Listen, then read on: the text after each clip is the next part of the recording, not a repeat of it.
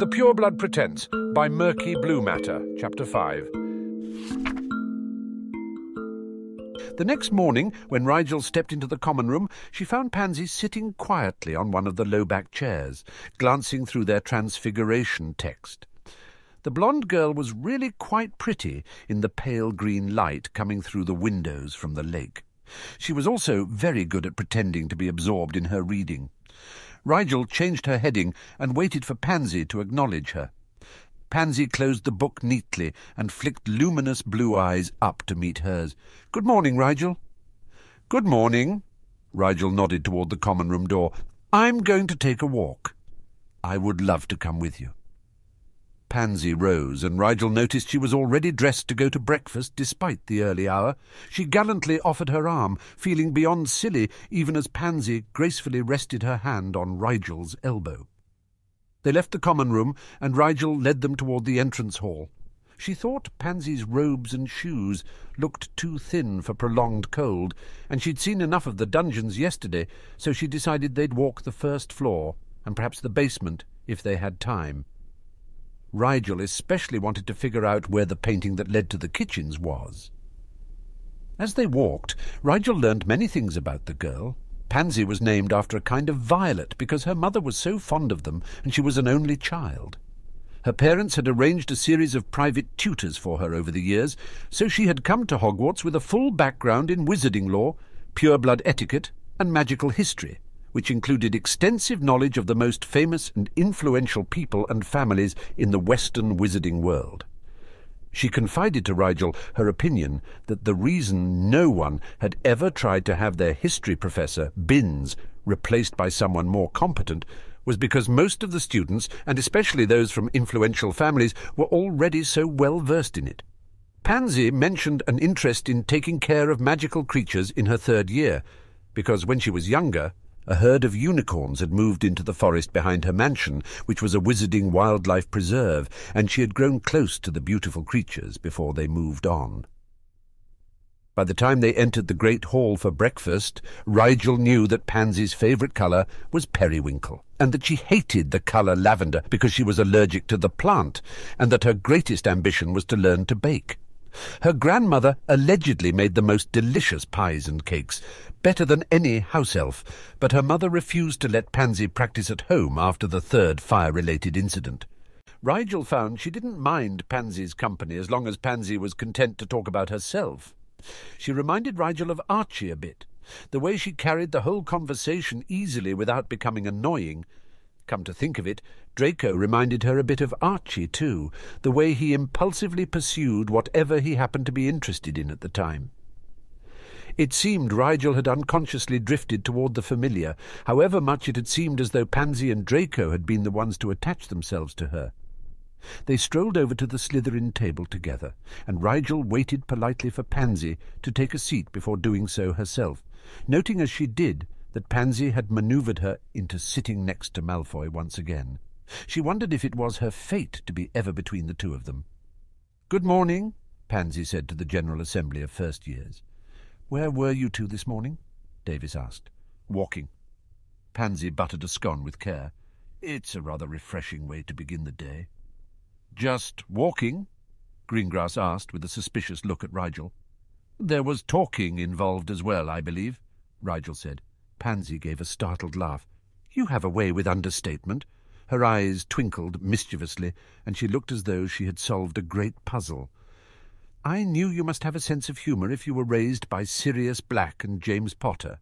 I think most of the professors are waiting anxiously for the practical jokes to begin, Zabini added, a slight smile playing about his mouth.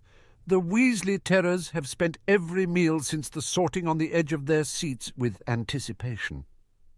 Rigel inspected the Gryffindor table, where there did indeed seem to be two identical redheads alternately glancing around the hall and staring at her with disappointment. She shrugged her shoulders, saying, I have no talent for pranks. Well, as your dorm mate, I'm much relieved, Nott told her. And if you ever decide to take up the family mantle, do us a favour and practice on the Hufflepuffs. I'm not sure that Malfoy and Pansy deserve that, she said blandly. The others gave her confused looks, but Malfoy glared, and Pansy tapped her knife against Rigel's water goblet reproachfully. Rigel thinks he's being funny, calling us Hufflepuffs because we badgered him so much yesterday. Pansy said, a sweet smile blooming on her face, the only foreshadowing of her revenge. You see, he had a little trouble with the charms we learned, and we were only trying to help, weren't we, Malfoy? Malfoy played along just as sweetly. We were indeed, and Black isn't the only one with a talent for understatement. His attempts were simply abysmal, weren't they, Parkinson? Oh, you must call me Pansy, the blonde girl said cheerfully. After all, we'll be working together a long time if we're to try and teach this plebeian how magic is supposed to be performed.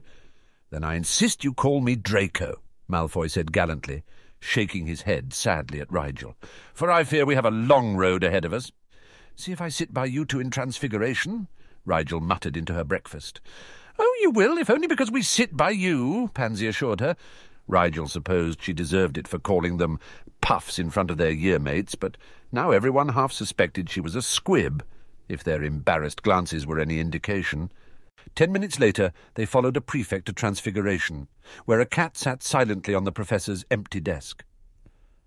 Rigel stared at the cat, a suspicion forming in her mind. She'd been around Animagi the whole of her childhood, and between Sirius and James, she knew an animal that was not an animal when she saw one.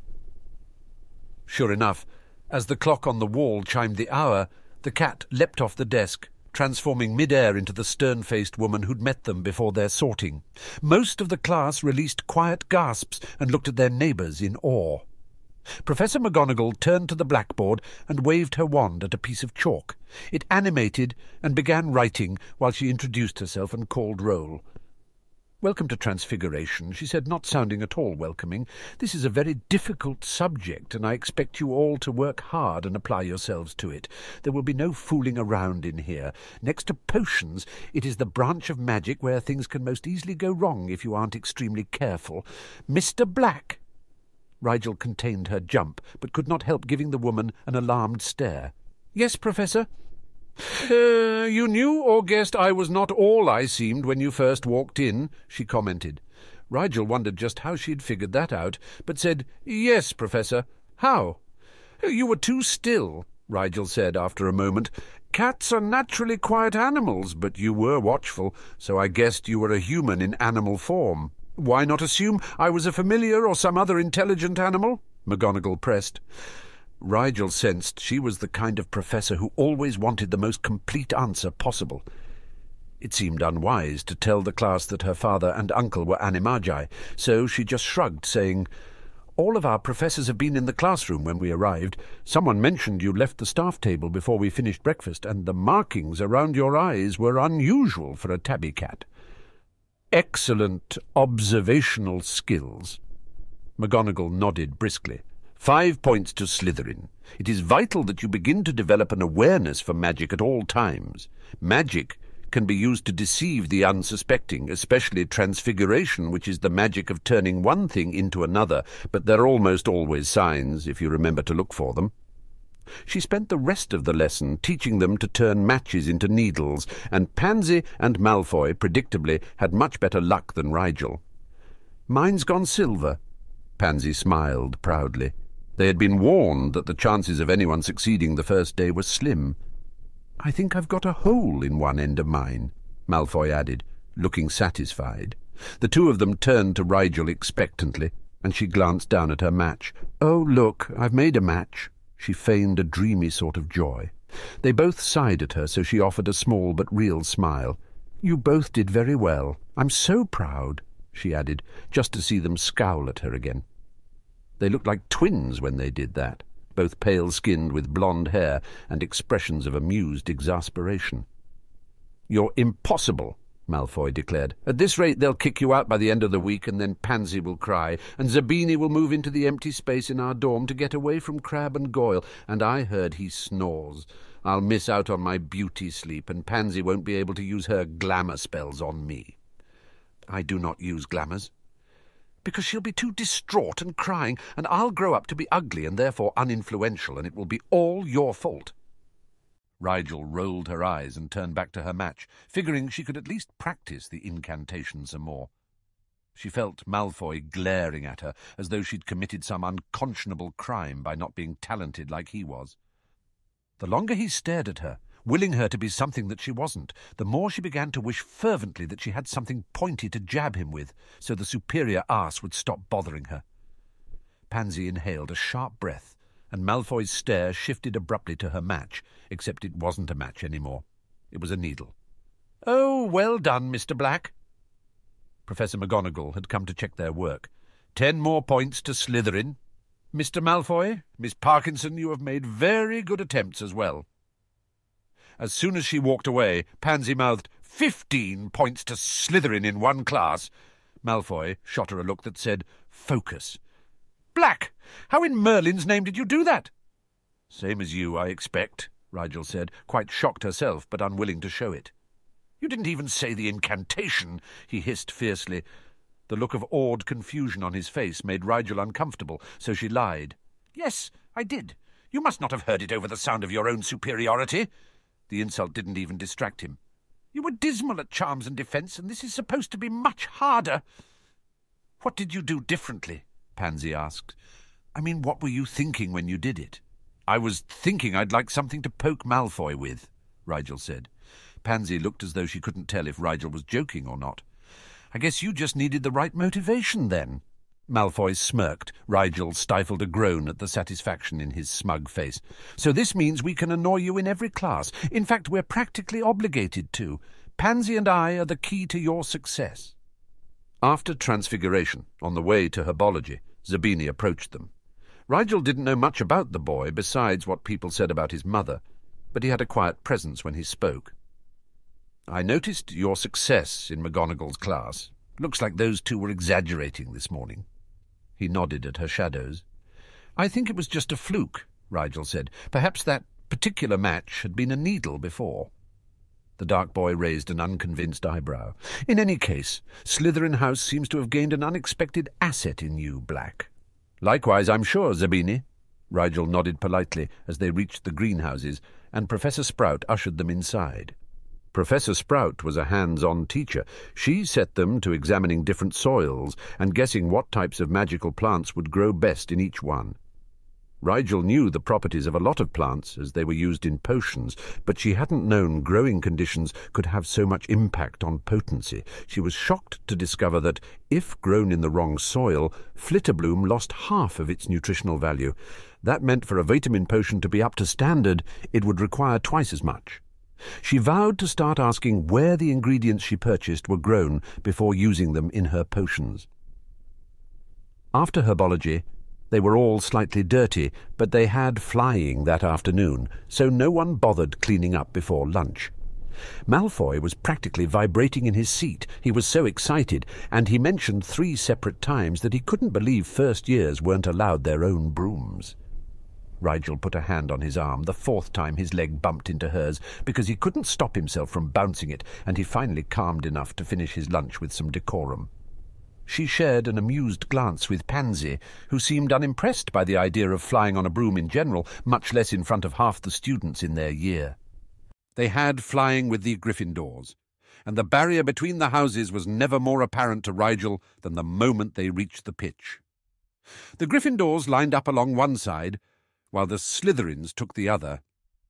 She recognized Neville from the train and smiled slightly in his direction when he noticed her. Pansy eyed a girl called Lavender Brown mistrustfully, probably for her first name alone, and Malfoy stared down the gangly, red-headed Weasley as though he'd insulted Malfoy's family crest. The boy seemed just as unhappy to be looking at Malfoy, and Rigel wondered if they'd ever encountered one another in life or only in rumour.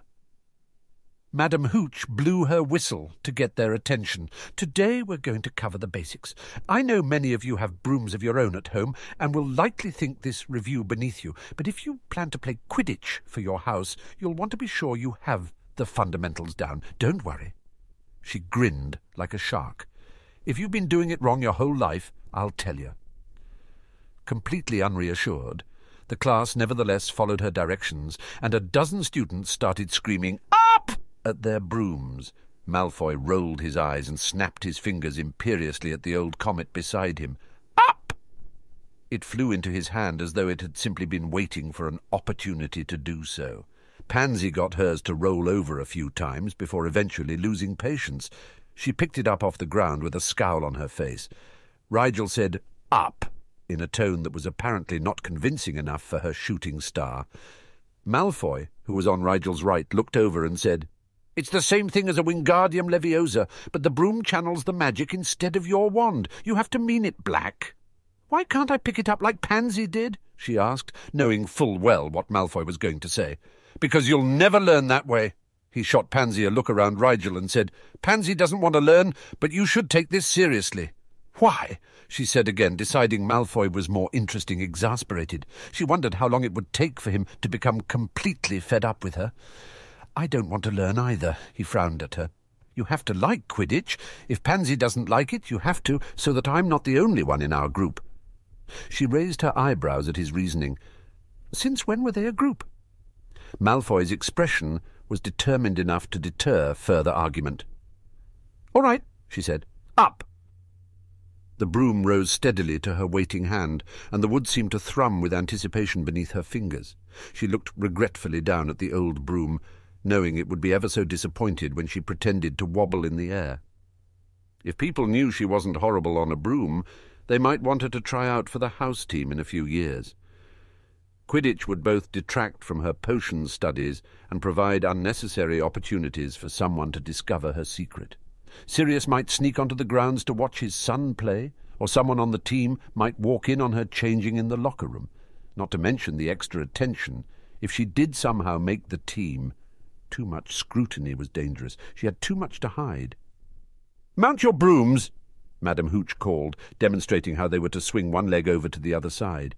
Everyone got more or less situated, and she said, Now on the count of three, I want all of you to push lightly off the ground, hover for a moment, then come back down by leaning forward slightly. One. But Neville was already airborne and rising steadily. Several students gasped, and the round-faced boy gripped the broom tightly, his face chalk white with terror. Hooch pushed off the ground and flew toward him, stretching out a hand to try and pull him to safety. Where was her wand? Before Hooch could reach him, Neville's grip failed. He plummeted straight down with a scream that wrenched at Rigel's gut, and all she could think in frozen dismay was if there was anything in her whole life she ever wanted to make levitate. It was Neville, right now. Fire, blazing hot, raced through her blood, and he was slowing, stopping, hovering a few inches above the ground in a shivering daze and Rigel realized she was holding her hand out toward him, as if in supplication. His milky hazel eyes met hers, and the look of fearful gratitude in them made her hand tremble. The spell broke, and Neville landed with a relieved exhalation of breath on the soft grass. Hooch landed moments later and helped the boy to his feet. When it was clear that he was shaking too much to stand, she said, Poor boy, you've had quite a scare. Let's get you to the hospital wing for a calming draught. She swung him up into her arms, showing surprising strength for a person of her height, and called over her shoulder, Stay here and on the ground, or you'll be in detention until you graduate. Rigel had tucked her hands into her pockets when Neville hit the ground, but it was too late to avoid attention. Most of the class was staring at her. She could see the Gryffindors wrestling between relief that their classmate hadn't been hurt and suspicion that a snake would help a lion for no reason. Her own housemates were just plain gaping at her, having been under the understandable impression that she couldn't even perform the levitation charm, much less on a heavy moving object, and somehow without a wand. Rigel's reality had shifted in exactly the same way, and not wanting to examine that line of questioning further, turned pointedly to Pansy and said, do you think Professor Sprout will care where we acquire the soil sample we're supposed to analyze for our homework? Pansy just blinked at her, for once at a complete loss. Rigel turned to Malfoy. I mean, she can't expect us to traipse through the forbidden forest, right? We could probably just ask the gamekeeper for a sample from his garden. Malfoy looked as though he was considering slapping her, so she narrowed her eyes and said, Stop looking at me like I'm hysterical. Just drop it. Drop? He swore softly. You are beyond words, and that is not a compliment. She shrugged and was about to change the subject again when she noticed the red-headed Gryffindor walking their way. With nervous foreboding in her stomach, she put on the friendliest expression she could muster while still sorting through the panic inside. Hey, he began hotly. Rigel interrupted. Hey, you know Neville, right? I... yeah, of course. The redhead frowned. He's in our dorm, but... Great. She smiled stiffly. Can you tell him I hope he's okay when you see him next? Well, sure, I guess. Confusion has taken the wind out of his hostility. Oh, how rude of me. Rigel extended her hand toward the Gryffindor's face. I'm Rigel Black. If you just tell him Rigel said hi, he'll know who you mean. Ron Weasley? He scrutinized her hand in a careful way that made Pansy stiffen. Rigel wondered if he could tell it was still tingling. It's fine, Pansy, Rigel said, pitching her voice to a soothing cadence. If my brothers were the Weasley twins, I'd be in the habit of looking for pranks everywhere, too. On my honour, it's just a hand, she promised. He had the decency to flush embarrassedly, but seized on the excuse as he shook her hand briefly. Can't be too careful with those two. I understand, Rigel assured him. The Gryffindor seemed to remember suddenly why he'd come over in the first place, and demanded, Why do you stop Neville from falling? More like, how? Malfoy muttered. I didn't realise my intervening would offend anyone, she said, deciding to bluff and act as if she'd meant to do it. Better to show strength, not weakness. I'll be sure to leave it to you next time. That's not, I mean... Weasley pressed his lips together in open frustration. What's in it for you? It's always a tragedy when good blood goes to waste, she said seriously. The Longbottom family is very ancient, and it would be a shame for their line to die out from such an avoidable accident. She was actually rather proud of that response. She thought it sounded appropriately pure-blooded and mercenary considering the reputation of her house. Weasley looked as if all his worst fears had been realized, so she must have said something right. He scoffed dismissively at her and began to stalk back to his side of the pitch. Perhaps it would have ended there if only Malfoy had kept his big mouth shut. He snorted loud enough for those around them to hear. Oh, yes, what a tragedy to lose someone with so much potential to grow into a muggle-loving blood traitor like his parents. Weasley immediately drew his wand and said a spell so fast that Rigel would later suspect he'd been waiting for an excuse. A jet of sickly yellow light shot toward Malfoy, who looked gobsmacked at the idea of anyone actually attacking him for what he probably considered casual banter. Pansy let out an outraged noise, but it was Rigel who unthinkingly lunged sideways to move Malfoy out of the path of the Jinx. Perhaps she was too used to playing protector to her cousin, who was often caught in the unexpected consequences of his own thoughtlessness. The hex struck her square in the shoulder and knocked her backwards into the grass. It didn't hurt, but it should have. Distantly, she heard Pansy protest and Malfoy shout, while Weasley stuttered that it was supposed to have hit him. This didn't make Malfoy any happier, and as Rigel sat up slowly, rubbing at the dirt off her arm from where she'd hit the ground, she saw Weasley running back toward his housemates while Nott and Zabini prevented Malfoy from pursuing. What an odd turn of events! Her voice was bleary, or perhaps only in her head. I hope someone tells Malfoy he looks like an angry Kneazle. Pansy bent down to offer Rigel a hand, saying, Draco, leave it. Rigel's fine. Rigel stared at the hand. How did Pansy get her fingernails to look like polished silver? Malfoy broke from the other boy's hold. He crouched down next to Pansy. You all right, Black? I'm all wrong. She smiled into his concerned face. Wrong hair, wrong place, and my eyes. These aren't my eyes. I've stolen yours, I'm afraid. What? He frowned at her. You're not making any sense. You can't make sense, she said solemnly. You have to find it. This statement struck her as exhausting, so she flopped back onto the ground and stared at the sky, wondering how long it would keep raining honey. They were going to be awfully sticky for dinner. What's wrong with him? Malfoy demanded. Weasley, what the bloody hell did you do to him? It was just a jelly-legs jinx, Weasley yelled back. His face was a remarkable shade of red that made his hair blush with jealousy. It wasn't supposed to even knock him down. A jelly-legs jinx is orange-red in colour. Zabini peered down at Rigel with a pitying grimace. That one looked more like a jelly-brains jinx to me. Jelly-brains? Pansy lost her carefully cultivated calm, and Rigel discovered her blonde friend was actually a gust of icy wind in human form. You turned his brains to jelly? Pan, it's okay. Rigel said in her best calming tone. It came out a bit on the giggly side. The sky is going to rain honey all week, and if all of me turns to jelly, then everyone can have toast. Malfoy growled at Weasley. You better get over here and fix him this instant, you incompetent prat, or my father is going to... What in Merlin's name is going on here? Madam Hooch was back, and she looked like a Valkyrie answering the call of a lightning storm. Mr. Black, are you all right? No, Pansy said, calm once more, though a bit breathless. No, he's not all right. He's got jam for brains. Ah. The flying instructor pulled Rigel up into a sitting position by her shoulders and stared intently into Rigel's face. Her eyes were like tennis balls, flitting back and forth, only Rigel couldn't tell who was winning the match. The Jellybrains jinx, was it? Not to worry, Miss Parkinson, it'll wear off soon enough. Who is responsible for this? Weasley, Malfoy ground out. This is how the Gryffindors decided to repay Black for saving their useless housemate's life. I didn't do that, Rigel said earnestly. It was magic that did it. I was just pointing at him at the time. You shouldn't be so growly, she added with a regretful look. It makes your eyebrows twitch something terrible. Pansy choked on a laugh and tried to help Rigel stand. What a mess! Why would you take that jinx? Seriously, Black, Malfoy hadn't yet found his own amusement. Of the three of us, you're the only one who doesn't know the shield charm. What gives you the right to jump in front of an unknown spell? Rigel carefully disentangled herself from Pansy.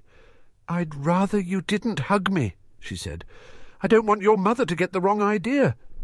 Pansy chuckled wryly. Why would she get the wrong idea? Don't you like me like that? I'm crushed, really. I thought you might be, Rigel sighed. It's all Sirius's fault. He tarnished my reputation, so now I'm stuck being friends with a Malfoy. I'd resent that if you were in your right mind. Malfoy sniffed. Consider yourself blessed to even be worthy of my presence. Are you an angel, then, Malfoy? she asked. You don't look much like one, but I suppose that explains why Pansy hangs around with you. Madame Hooch blew her whistle to dismiss the class, and Pansy and Malfoy marched her as quickly as possible back to the castle. The jinx didn't wear off until they were almost back to the common room, and her first clue was the throbbing ache in her shoulder, where the jinx had hit her. The headache came next. Rigel groaned, pulled away from their hold, and gripped her head fiercely. Rigel? Pansy asked cautiously. I know why it's called the Jellybrains jinx now, she moaned over the pounding of her skull. It's because your head feels as though it's been squished like a berry when it wears off. Ouch!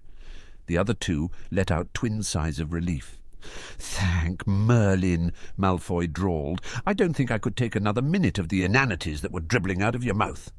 Honestly, Draco, Pansy said softly, trying not to cause Rigel any more pain. He took that curse for you. Nobody asked him to, Malfoy muttered. Wasn't trying to, Rigel shot back. Sometimes my muscles spasm without my control. She stopped at the inconspicuous stretch of wall. Ouroboros.